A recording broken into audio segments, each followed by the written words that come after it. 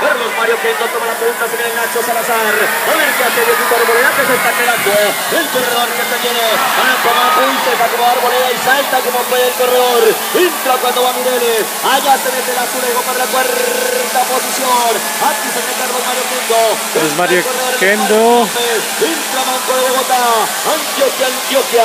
Cuando va pasando. Emocionante, emocionante estas semifinales de élites.